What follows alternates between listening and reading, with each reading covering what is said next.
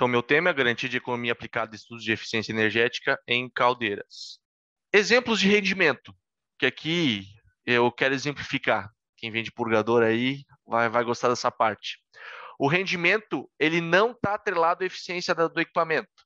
Porque quando eu falei lá no começo da fórmula, ele tem a ver com a temperatura da entrada. Se eu estou entregando uma temperatura melhor para o meu equipamento, ele não muda a eficiência. Ele muda o rendimento porque ele está mudando a relação de conversão. Mas a minha, a minha porcentagem de troca em porcentagem de eficiência é o mesmo. Vamos dar um exemplo sobre isso. Então, aqui eu estou entrando com água de reposição, vindo do, do sistema de tratamento de água, uma temperatura 20 graus Celsius, entro no meu tanque de condensado, é, succiono para minha bomba, bomba recalca para a caldeira, caldeira adiciona energia, se gera vapor, Aqui um exemplo é um vapor saturado a 10 kgf por centímetro quadrado, pressão relativa. Entro no trocador de calor de processo. Então aqui eu vou aquecer algum produto. Esse produto temperatura ambiente vai para a temperatura dele aquecido ou acabado.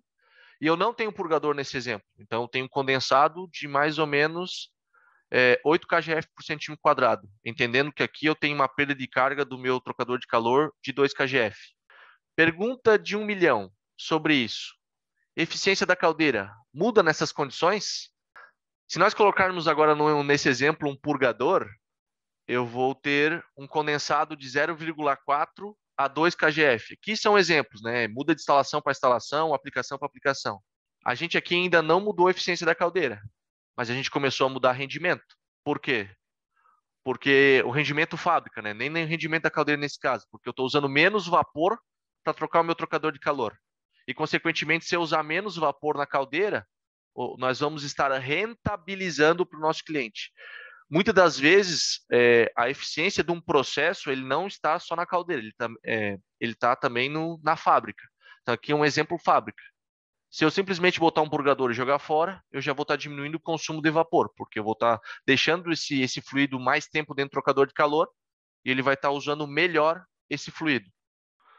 O segundo exemplo, que é o, são a maioria das instalações no Brasil. Então, nesse mesmo exemplo de condensado, ao invés de eu descartar, eu vou mandar para um tanque de condensado. E aqui eu começo a ter temperaturas e variações diferentes dentro do meu tanque de condensado.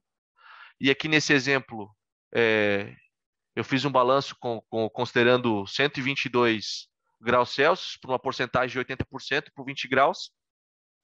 E eu tenho condensado a 100 graus. E aqui eu quero deixar claro que a gente pode ter um problema de cavitação na bomba. Eu só quero deixar esse exemplo como adendo, porque às vezes a gente sobe, trabalha na eficiência energética e resolve e acaba criando um outro problema para o nosso cliente. Então, cuidado com a nossa bomba. Então, beleza, resolvi o problema da fábrica e criei outro, mas não é o caso aqui. Nessa consideração, ainda vou ter vapor flash, que pode ser um aproveitamento, e eu vou ter esse resultado aqui de fluxograma. Aqui, um segundo adendo. Esse é um detalhe que nós gostamos muito de trabalhar.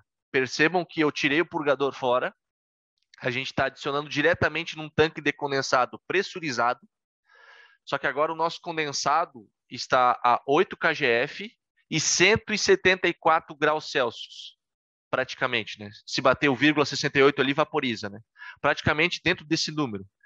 Percebam, se eu entrar dentro da nossa caldeira a 174 graus Celsius, toda essa massa, vocês imaginem então quanto de energia o combustível e motores para repor essa energia nesse fluido que está entrando, será necessário?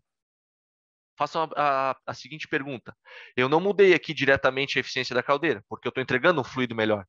Porém, o meu rendimento fábrica, nessa consideração aqui, para o nosso cliente, tivemos muito resultado.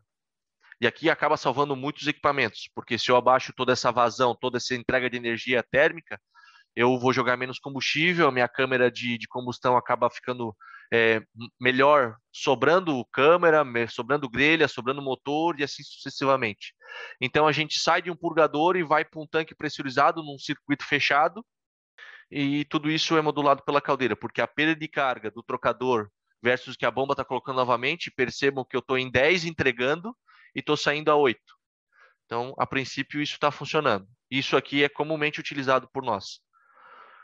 Um outro exemplo que também vale destacar aqui, sobre esse exemplo de rendimento, é trocador de calor maior, adequado para o processo. Aqui a gente já encontrou N aplicações que a gente tentou usar esse tipo de, instrumento que nós estamos aqui exemplificando para vocês, mas o trocador era pequeno, não era adequado. Percebo que eu até mudei minha figurinha aqui para colocar ele um pouco maior. Então, sem purgador, eu estou entregando uma energia muito baixa, porque o meu trocador de calor está fazendo o papel do purgador. Ele é tão grande ou tão bem dimensionado que ele dá conta de absorver toda a energia disponível. Então, eu vou estar tá entregando um fluido de menor temperatura para o meu tanque de condensado, porém eu estou aproveitando melhor dentro do meu trocador de calor. E aqui eu evito uma taxa de porcentagem de eficiência, que são as eficiências das linhas. Eu estou absorvendo toda essa energia num único passo que é vir da rede de vapor absorvendo o trocador, ao invés de ainda do trocador sair para uma linha, ir para o tanque, ir para a bomba. Então, eu estou absorvendo antes. Isso é mais rentável para o nosso cliente.